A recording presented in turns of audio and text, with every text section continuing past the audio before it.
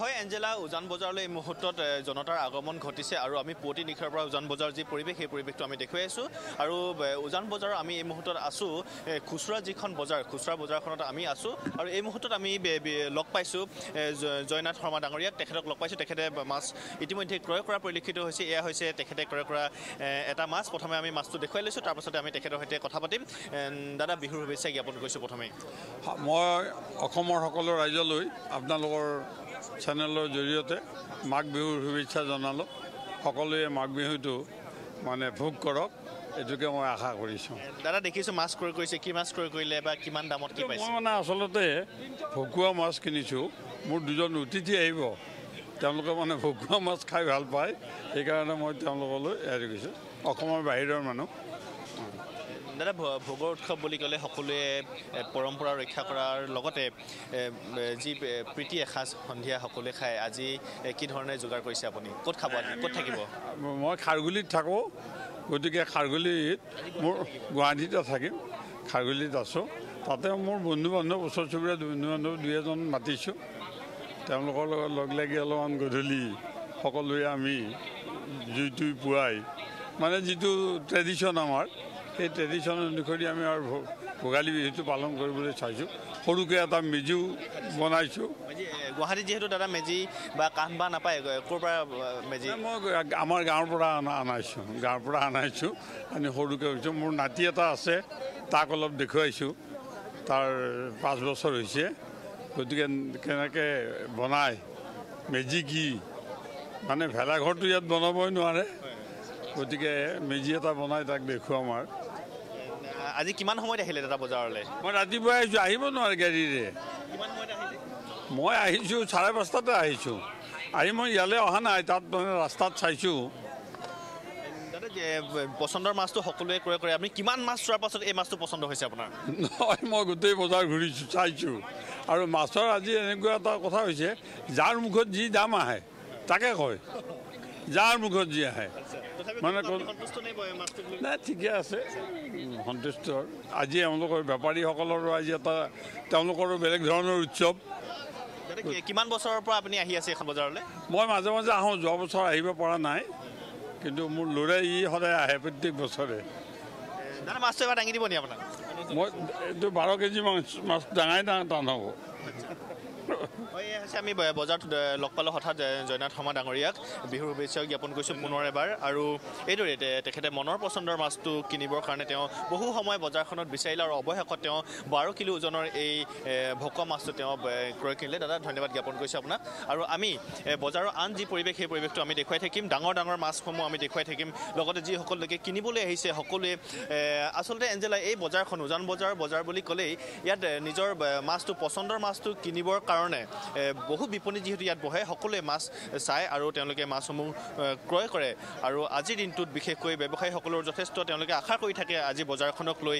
এয়া মই মাছ দেখুৱাইছোঁ। আৰি মাছ এটা পালাত উঠোৱা পৰিলক্ষিত হৈছে। এজন ব্যৱসায়ী আছে ব্যৱসায়ীজনৰ সৈতে আমি কথা পতাৰ চেষ্টা কৰিম। এজন গ্ৰাহকক এইদৰে মাছ দিয়া পৰিলক্ষিত হৈছে আৰু উজান বজাৰত এই মুহূৰ্তত মুহূৰ্তত এক উৎসৱ মুচৰ পৰিৱেশে বিৰাজ কৰিছে এজন ব্যৱসায়ী আছে। দাদা ব্যৱসায় কেনেকুৱা? ব্যৱসায় আল্লাহ দিলে মোটামুটি আছে আৰু।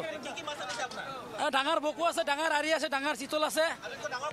আটাইতকৈ ডাঙৰ হ'ল আপোনাৰ আৰি। আৰি বাৰ কিলো ওজন আছে দহ কিলো ওজন আছে এইটো আমাৰ হাজো বলতাৰ পৰা হাজোৰ পৰা মাছ দি আছোঁ দি আছোঁ ৰ'ব। মই দেখুৱাইছোঁ ইয়াত কি ধৰণে গ্ৰাহকসকলে মাছ কিনিছে সেই পৰিৱেশটো আমি দেখুৱাইছোঁ। সকলোৱে আজি প্ৰীতিৰ এসাঁজ সন্ধিয়া যাতে সকলোৱে আত্মীয়ৰ লগত পৰিয়ালৰ লগত তথা বন্ধু বান্ধৱৰ লগত তেওঁলোকে খাব পাৰে তাৰ বাবে সকলোৱেই ৰাতিৰ ভোজ সাজৰ কাৰণে তেওঁলোকে যোগাৰ কৰা পৰিলক্ষিত হৈছে। আৰু উৰুকা বুলি ক'লেই মাছৰ প্ৰতি মানুহৰ যি আকৰ্ষণ সেই আকৰ্ষণ অতীতৰ পৰা আছে। আৰু সেই আকৰ্ষণ পুনৰ এবাৰ প্ৰতিফলিত হৈছে উজান বজাৰৰ এই ঘাটত। আৰু মই ব্যৱসায়ীসকলৰ সৈতে আমি কথা পাতিম। আৰু যিসকল আন আন লোক আছে তেওঁলোকৰ সৈতে আমি কথা পতাৰ চেষ্টা কৰিম। দাদা প্ৰথমে বিহুৰ শুভেচ্ছা জ্ঞাপন কৰিছোঁ। দাদা ক'ৰ পৰা আহিছে? মই বিৰুবাৰীৰ পৰা আহিছোঁ। ইয়াৰে ইয়াৰে হয়। এতিয়া বৰ্তমান চাই আছোঁ। এতিয়ালৈকে কিনা নাই। পচন্দ হৈছে না? ভাল ভালটো গোটেই মাছে ভাল লাগিছে। আৰু এতিয়া দাম দাম চাই আছোঁ অলপমান। কিছুমান অলপ কমিলে ল'ম আৰু অলপ পাছত। এতিয়া বৰ্তমান উঠি আছে নেকি দাম? এতিয়া জাষ্ট মানে উঠি আছে যেন পাইছোঁ। অলপ পাছতকৈ ল'ম চাই আছোঁ এতিয়া। কিয় ভাল লাগে বজাৰখনলৈ আহি দাদা? এই আৰু ইয়াৰে এইটো পৰিৱেশটো ভাল লাগে। চব মানুহ আহে এটা আশা কৰি বছৰতে এবাৰ এনেকুৱা এটা অয়া হয়। সেইকাৰণে আহিছোঁ আজি। ধন্যবাদ জ্ঞাপন কৰিছোঁ। আৰু আমি এ, কিছু দূৰ আগুৱাই যাবলৈ চেষ্টা কৰিম। আমি প্ৰথম অৱস্থাত বজাৰখন যিহেতু ইয়াত নতুনকৈ বনাই থকা হৈছে কিমান মানুহৰ ইয়াত সমাগম হৈছে সেই পৰিৱেশটো মই দেখুৱাব চেষ্টা কৰিছোঁ। আৰু এই দৃশ্য দেখিয়ে হয়তো অনুমান কৰিব পাৰি যে উজান বজাৰত কেনে এক পৰিৱেশৰ সৃষ্টি হৈছে।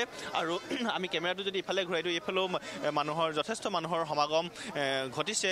এঞ্জেলা আৰু সকলোৱে নিজৰ পচন্দৰ মাছ ক্ৰয় কৰিবৰ কাৰণে তেওঁলোকে আহিছে। আৰু ৰাজ্যৰ বিভিন্ন প্ৰান্তৰ যিসমূহ মৎস্য ব্যৱসায়ী আছে সেই ব্যৱসায়ীসকলৰো তেওঁলোকৰ টাৰ্গেট হৈ পৰে গুৱাহাটীৰ বজাৰখন আৰু এই উজান বজাৰখন আৰু তেওঁলোকে মাছ তেওঁলোকে উৎপাদন কৰি এইখন বজাৰলৈ তেওঁলোকে প্ৰেৰণ কৰে আৰু তাৰ ফলত গুৱাহাটীবাসী ৰাইজ বা ইয়াৰ যিসকল খুচুৰা ব্যৱসায়ী বা পাইকাৰী ব্যৱসায়ী তেওঁলোকে এই দিনটোলৈ অধিক আগ্ৰহেৰে ৰৈ থকা পৰিলক্ষিত হয় আৰু সকলোৱে নিজৰ পচন্দৰ মাছ কিনি তেওঁলোকে আহি ভোগৰ উদযা- ভোগ উদযাপন কৰিবৰ বাবে তেওঁলোকে সাজু হয় দাদা কেনেকুৱা ব্যৱসায় কি কি মাছ আছে আপোনাৰ? মোৰ আছে ভোকো আছে ভোল আছে চিতল আছে আৰি আছে আপোনাৰ শিলগুৰি আছে। দাম আপোনাৰ এইটো ভোকো আপোনাৰ চাৰে পাঁচশো। ভোল আপোনাৰ সাতশ। চিতল সাতশ। আৰি আপোনাৰ বাৰশ এনেকৈ। অৱশ্যে এজন লোক আছে তেওঁ আহিছে। দাদা বিহুৰ শুভেচ্ছা জ্ঞাপন কৰিছোঁ প্ৰথমেই। কেনেকুৱা বজাৰ মাছ কিনিলে? চাই আছোঁ মাছ। সেয়া ল'ম বুলি ভাবিছোঁ দামটোৱে বহুত কৈ আছে। সেইকাৰণে। অঁ মোৰ চিতল লওঁ নেকি? তাকে চাই হৈছে। পচন্দ মানে চাইহে আছোঁ আৰু। দামো মিলা নাই সেইকাৰণে চাই আছোঁ। বিভিন্ন দোকানে মানে বিভিন্ন দাম আৰু এনেকুৱা কৈ আছে কিছুমান সাতশ আঠশ। আমি এতিয়া অলপ কম দামত পালে ভাল হয় আৰু সেইটোৱে চাই। জ্ঞাপন কৰিছোঁ আৰু সকলোৱেই আজিৰ সন্ধিয়াৰ যাতে ভাত সাজ সকলোৱে লগে ভাগে খাব পাৰে তাৰ বাবে সকলোৱে এই ধৰণে মাছৰ বজাৰলৈ আহিছে আৰু আমি আগুৱাই গৈ থাকিম ভিজুৱেলছ দেখুৱাই থাকিম। ডাঙৰ মাছৰ সন্ধানত আমি আছোঁ। ইতিমধ্যেই ইয়াত ত্ৰিছ কেজি পৰ্যন্ত মাছৰ ইয়াত ওলাইছে বুলি আমি জানিব পাৰিছোঁ আমি দেখুৱাইছোঁ। আন এজন লোক আছে দাদা বিহুৰ শুভেচ্ছা জ্ঞাপন কৰিছোঁ প্ৰথমে আপোনাক। ধন্যবাদ আপোনাকো জ্ঞাপন কৰিলোঁ। মাছ অঁ দেই এতিয়া মাছতো উজান উঠিছে যথেষ্ট বেলেগ বেলেগ ধৰণৰ মাছ আহিছে এতিয়া চাই আছোঁ তাকে। এই চিতল আৰি ভকুৱা তেনেকুৱাবিলাকৰ ভিতৰতে চিন্তা কৰিছোঁ আৰু। উজান বজাৰ এখন ঐতিহাসিক এখন বজাৰ। নিশ্চয়। আপুনিও জানে তথাপিও সেই তেতিয়াৰ পৰা এতিয়ালৈকে যি এক হিষ্ট্ৰী আছে বুৰঞ্জী আছে এই বজাৰখনক লৈ কি ক'ব দাদা? আজিও বৰ্তি আছে কিন্তু। এইখনতো এদিও বৰ্তি আছে কিন্তু আমি দেখিলে এইবাৰ যিটো সৌন্দৰ্যকৰণ কৰা হৈছে তাৰ কাৰণে এইবিলাক বহুত ঠেক হৈ গ'ল আগতকৈ। হয় বহুত ঠেক হৈ গ'ল। এতিয়া কওঁ নাই এতিয়া সৌন্দৰ্যকৰণ বৰ্ধন কৰাৰ পিছত কি অৱস্থা হ'ব হ'ব ন ভাল লগা মানে মাছৰ বজাৰখন ইয়াত থাকিব নাথাকে এতিয়া। গম পোৱা নাই।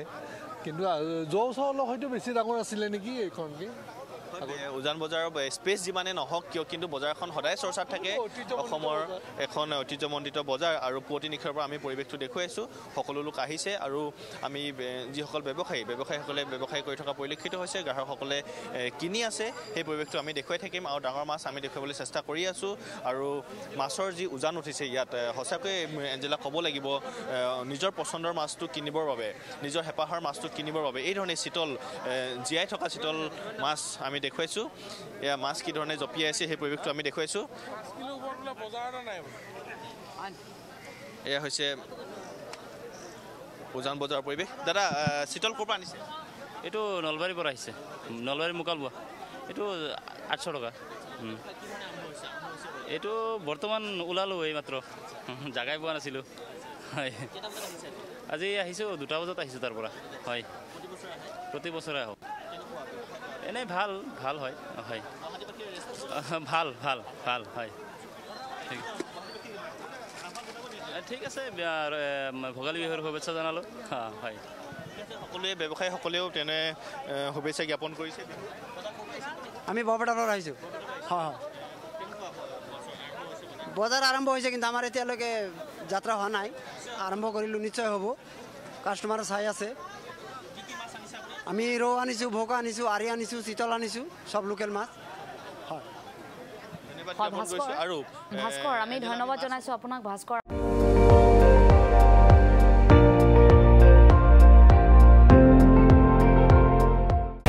আপুনি চাই আছে এন ডি টুৱেণ্টি ফ'ৰ সৰ্বশ্ৰেষ্ঠ নহয় সৰ্বোত্তমৰ দৌৰত।